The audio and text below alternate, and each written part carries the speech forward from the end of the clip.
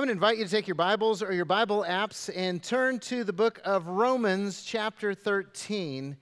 Romans 13, yes, you heard me correctly. I know we're not finished with the year, and we've been spending the year in the Gospel of Luke, studying uh, a series called Just Jesus, where we've looked at Jesus and what he teaches and the people that he interacts with and all of that. And some of you are going, it's still 2016. Why are we in Romans? Uh, I'll explain that in just a minute. By the way, if you don't have a Bible, grab one of the Bibles in the seats around you. Turn to page 1127, and you will find Romans chapter 13. And, uh, and if you need a Bible, you want to read God's Word and you don't have a Bible, then please take one of these as a gift.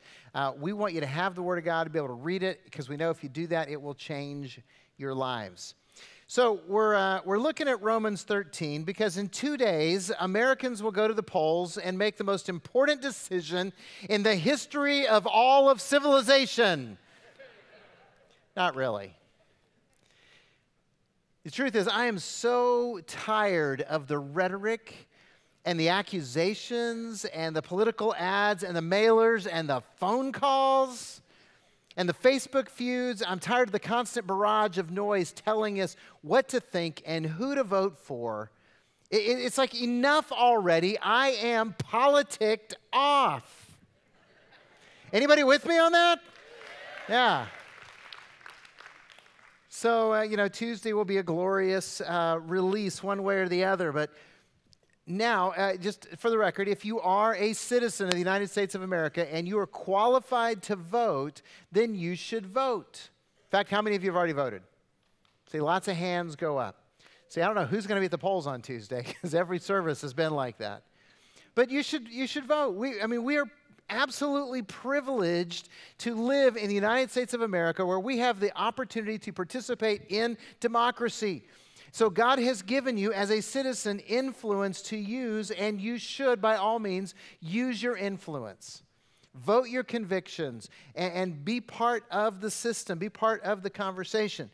And for the record, because some of you right now are maybe a little bit nervous, I'm not going to tell you how to vote.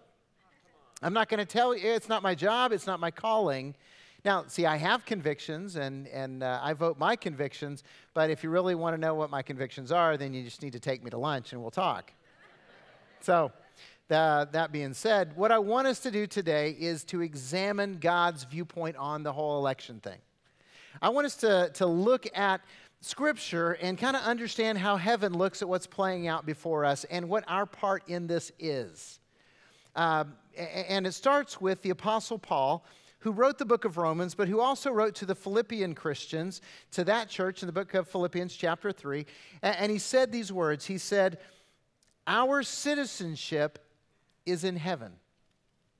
And from it, we await a Savior, the Lord Jesus Christ. He's reminding us that, that we are citizens of a kingdom that is beyond this world. So, if you are a follower of Jesus Christ, if you believe that Jesus is the one and only Son of God and Savior of the world, you believe that He died on the cross to pay for your sins. Let's make this personal.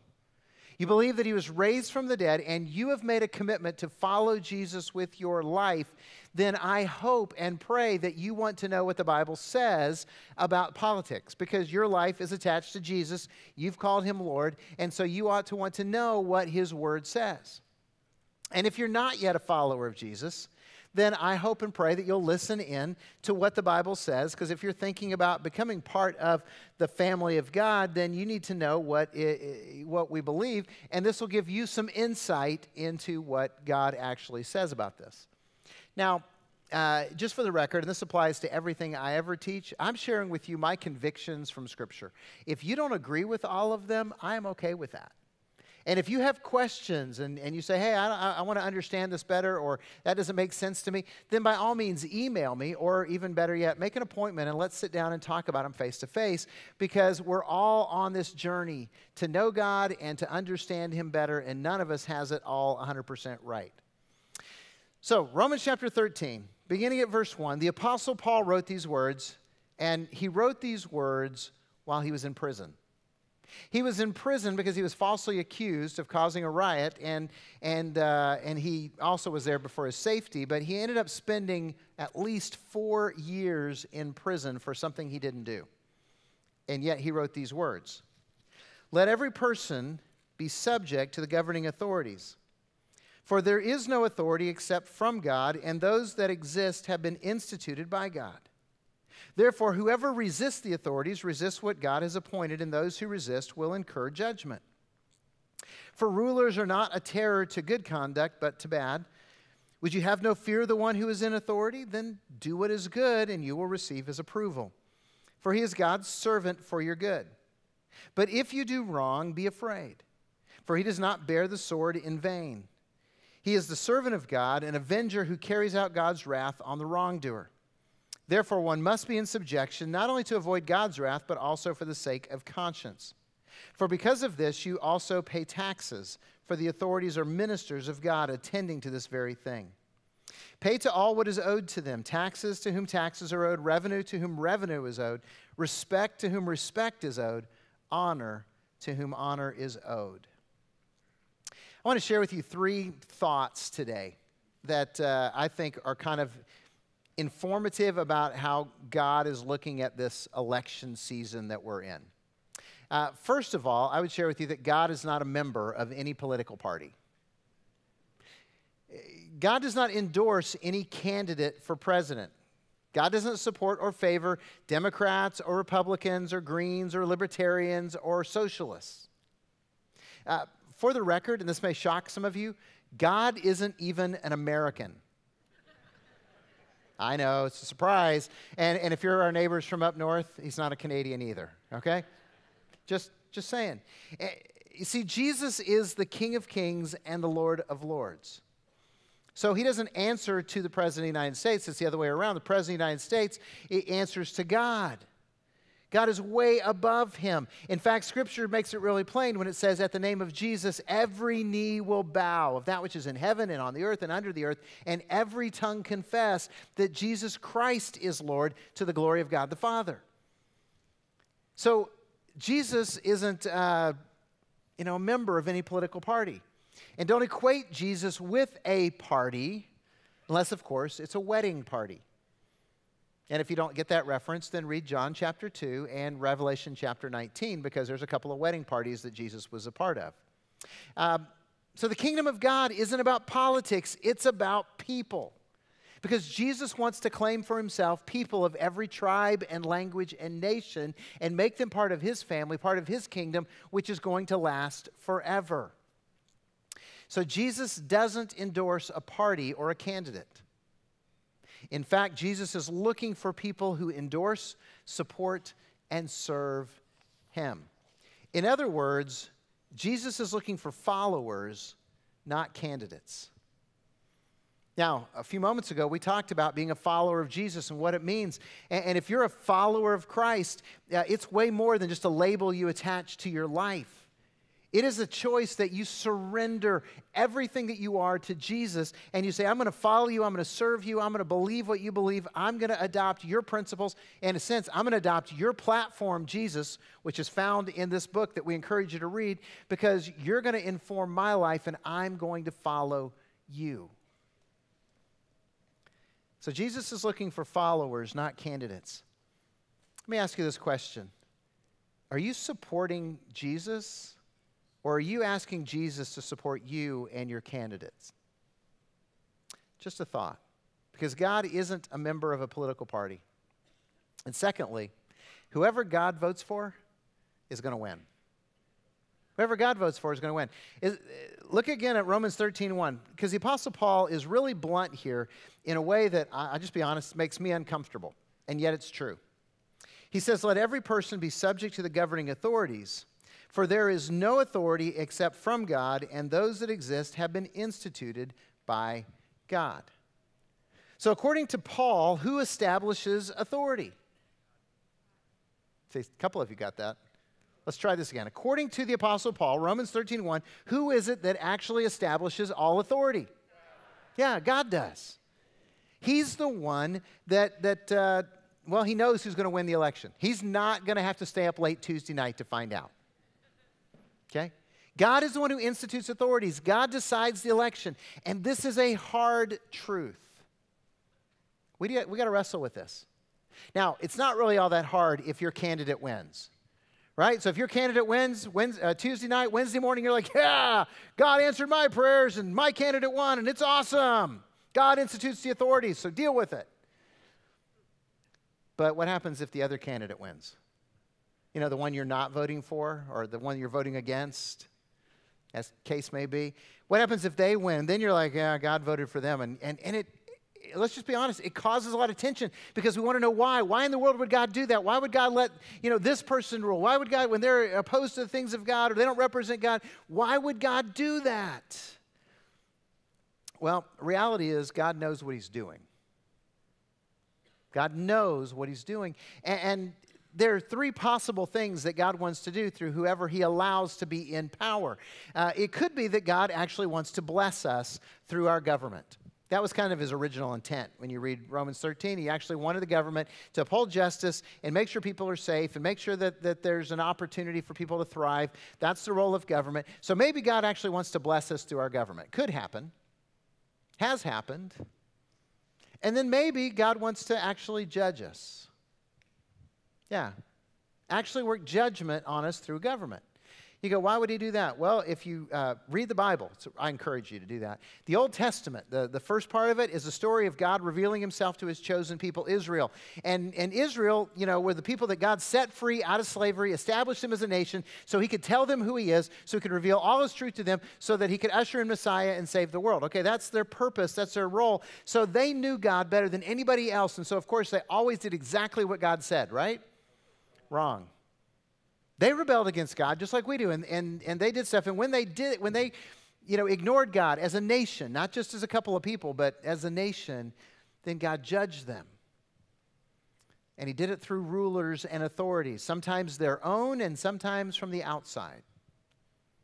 So maybe, maybe whoever God votes for is because we deserve judgment. Or maybe, third option, God is letting the United States of America reap what we have sown. See, we talked about reaping and sowing last week. You're going to reap what you sow as individuals and as nations. And, and, we were founded as a nation on godly principles, but we really haven't lived that out, especially in my lifetime. And so maybe, just maybe, as a nation, we're reaping what we've sown, and God is allowing that to happen. So those are kind of three possibilities, but whatever God's purpose, understand God never loses an election. Can't happen. God will accomplish his purposes in this world God will redeem through any circumstances, even when we can't see how He's going to redeem. Has that ever happened in your own life, just personally? Do you ever pray for something? God, I need you to fix this. God, I need you to heal this. God, I need you to redeem this mess that I made. And God answers your prayer, but He doesn't answer it in the way that you wanted Him to. Do you ever do that? You ever ask God for something and God gives it to you, but not like you designed? Because most of us not only have a request, but we have a blueprint for God. Right? I want you to answer my prayer, and I want you to do it this way, in this time. And, and in my life, God never does it my way. He answers my prayer, but He doesn't answer my way, doesn't do it in my timing. And sometimes in the middle of it, I'm going, God, what are you doing?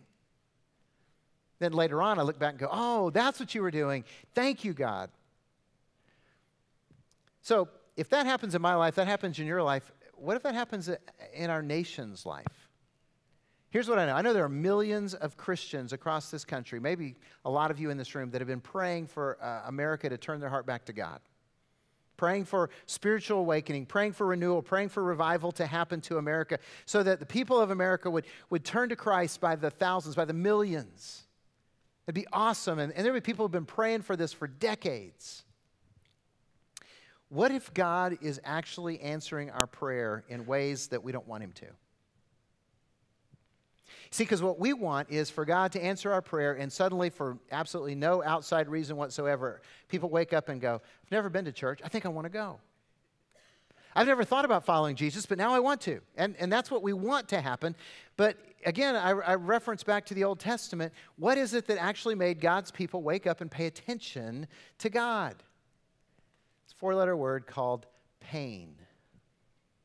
See, usually when God's people were far from Him, there would be a famine or there would be some kind of pestilence or usually there was like some invading army that would come in and smash them. And about the time that you know somebody else's boot was on their neck they would go god we need you! And god would rescue them.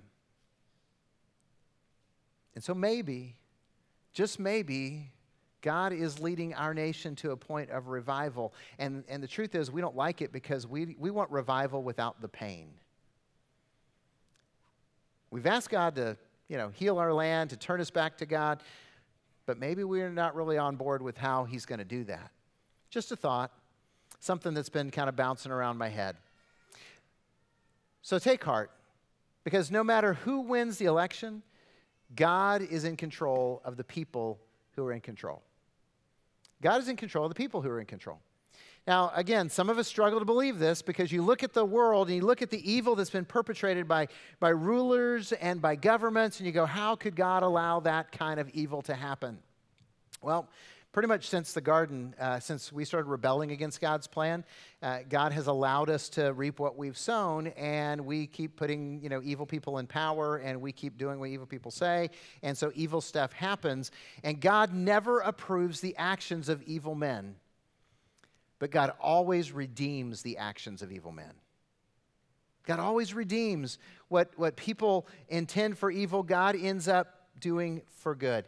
Let me tell you about two real world, real time examples of this. Things that at one point looked like they were horrific, terrible uh, tragedies are now moments of God's glory. The first one is the nation of China. China has been a, officially a communistic atheistic country for 71 years. And, and, uh, and, if you go back and read history, a few of you are old enough to have lived it, uh, when, when uh, the communists took over China, they kicked all the Western missionaries out. And there was just a, a, handful of believers in Jesus in the country of China. And there was a lot of weeping and gnashing of teeth by the, the, all the religious organizations that had sent missionaries to China saying, what's going to happen? And, and especially because the government made it their official goal to turn the entire nation into atheists. And so they tried to stamp out the church. We're going to kill the church. We're not going to have any Christians and stuff like that. Made it illegal for uh, Christians to gather, made it illegal for people to convert to Christianity, all that kind of stuff. And now, 71 years later, after decades of persecution, if not already, it soon will be a reality that there will be more followers of Jesus Christ in the country of China than any nation on the face of the earth. Isn't that amazing? Isn't that, and then just God, He just goes, hey, uh, these guys thought they were going to kill the church, and I'm just going to go ahead and blow the church up, make it just take off. See, that, that to me is when you look at this and go, that's not exactly how we would have done it, but it's kind of cool that God did it that way. Or how about this? The nation of Iran. Okay, the day I wrote this message, uh, I was actually reading and I, I, read this article, and I've seen it several times since, uh, so I, I think it's pretty valid. But I read that the Iranian church is the fastest growing Christian church in the world. Now, does that make any sense to you? Because 37 years ago, they started the Islamic Revolution. And again, they kicked the missionaries out, and, and it's illegal for a Christian to share their faith, punishable by death. It's illegal for a Muslim to convert to Christianity, punishable by death. It's illegal for anyone to gather in the name of Christ, punishable by death. And yet, even in the face of all of that, the Church of Jesus Christ in the country of Iran is exploding. Does that make any sense to us? No, because God's plans are different than ours, bigger than ours, more powerful than ours, and God is in control of the people who are in control, and God will accomplish his purpose in this world. So we don't have to be afraid, because whoever God votes for will win, and God's going to accomplish his purposes. Third thing I want to share with you our mission is to expand God's kingdom, not our political influence. Our mission is to expand God's kingdom, not just to gain political influence. Now, here's a reality Jesus lived in a politically charged time. Uh, a little bit of history. The Romans, uh, you know, the Roman Empire conquered the, the nation of Israel uh, before Jesus was born. It was already under the oppression of Rome. And for about 100 years, the, the Jewish people rebelled. They had started revolts. Uprisings were constant. Uh, so much so that in 70 AD, the Roman emperor had had enough. And so he sent his armies to Jerusalem. They surrounded Jerusalem. They besieged it. And when they conquered Jerusalem, they tore the city apart. I mean, they just ripped down every building, every wall. They shredded it. They said, No one's going to live here. We're going to wreck this place. We're going to ruin this place for all time. Jesus was born into that environment. He was raised in that environment. He, was, uh, he worked in that environment. He did his ministry in that environment. And yet, uh, given all that, he almost never spoke to politics. You read the Gospels, uh, I can find two references to politics, if you will, that, that Jesus said. The first one is, is a, well, the Pharisees were trying to trap him into saying something stupid, which is not a good idea. And uh, they came to Jesus and they said, Is it lawful for us to pay taxes to Rome? And Jesus said, Show me a coin. They gave him a coin. He goes, Whose picture's on the coin? Caesar. And so Jesus said, Render unto Caesar what belongs to Caesar, and render unto God what belongs to God. That's statement number one, political statement. Statement number two Jesus is on trial before Pontius Pilate, the Roman governor. Uh, and, and, Pilate, you know, keeps pressing him, saying, Hey, are you a king? And Jesus' answer was this My kingdom is not of this world. If my kingdom were of this world, my followers would be fighting, but my kingdom is not of this world. And by the way, Pilate, because Pilate threatened him, he said, You have no authority over me except that which is given to you from above. He just reminded him God's the one who gave you the power, God can take it away. That's Jesus' po- uh, political statements in a nutshell. So, since Jesus wasn't talking politics, what did he do? He focused on the mission. Jesus said, The Son of Man came to seek and to save that which is lost. I want to seek and to save that which is lost. So, because he was focused on the mission, Jesus allowed a corrupt political group to arrest him and hold a mockery of a trial. And then they handed him over to a corrupt politician who, get this, proclaimed Jesus innocent and then had him executed. Why? Why did God allow that to happen? Actually, why did God design that to happen? Because Jesus' job was to pay for our sins. And on the cross, Jesus paid for my sins and your sins. Jesus rescued us from hell. Jesus gave us eternal life. He adopted us into his family by faith. He did all of that because that was his mission, and he was mission focused, not politically focused. See, the people of Israel, they wanted a political Messiah who would save their nation. We never want that. But Jesus said, I'm going to be the Messiah who will save my people from their sins. So the reality is no matter who wins the election, God's eternal purpose of changing lives continues. It's the same Wednesday as it will be Tuesday. And, our mission, the mission of Calvary, is to lead people to a life changing relationship with Jesus Christ through the love of his people and the power of his truth. And we're going to tell the truth even when it costs us to do so. But here's the thing if we're going to be effective in that mission, then we be, need to be committed to loving people no matter what. We need to love people whether they are Democrats or Republicans or anarchists.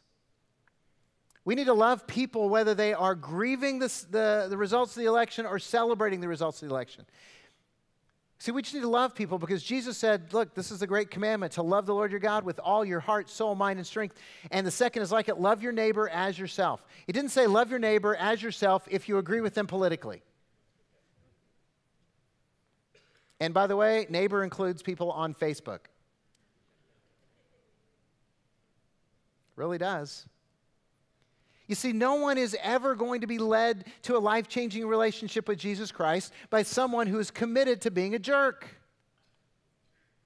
It's just not going to happen. We can't represent Jesus if we are angry and spiteful and, and vindictive towards half the people in our country. Because you know, we're kind of divided down the middle. That doesn't make us effective representatives for Christ because we cannot represent Jesus unless we reflect his character. And if we're going to be focused on the mission of Christ and not just our political agenda, then we have to decide right now we're going to love people no matter what happens in the next couple of days. Because God's power is manifest when his people start loving in crazy, ridiculous ways. And that's how God's going to transform this world. That's how God's going to transform this country. So it doesn't matter if times are good or times are bad. It doesn't matter if the economy is booming or if it's collapsing. It doesn't matter if our nation is at war or enjoying peace. Our God and his mission remain the same. I think the psalmist uh, said it best. Psalm 20, verse 7, one of my favorites, uh, short enough, all of us could remember it. It'll give you a lot of peace uh, during this crazy time. Some trust in chariots and some in horses, but we trust in the name of the Lord our God. Some trust in chariots and horses. That was the, the means of power in the time that David wrote this. But we trust in the name of the Lord our God. And, and, and you put in whatever fits for you in chariots and horses. Some trust in Democrats and some in Republicans, but we trust in the name of the Lord our God. Some trust in the one who's going to win the election or Congress, but we trust in the name of the Lord our God. Some are going to trust in the economy and some in their finances, but we trust in the name of the Lord our God. Some trust in our military might or in the peace of the world, but we trust in the name of the Lord our God. So today, are you placing your trust and your hope in a person to be elected president or the living God who saves? You see, I'm going to vote. Truth is, I already have. And I want my candidate to win. But whatever the outcome Tuesday night, Jesus Christ is Lord. Jesus Christ is Lord. And this is His world, and we are His people. And we are called by God to make a difference. And we have been entrusted with the good news. And we have been commissioned to love people. All of the people that God brings across your path. I don't know what, about you, but I will trust in the name of the Lord my God. I hope you will vote, and I pray that you will trust in the glorious name of Jesus Christ. Let's pray.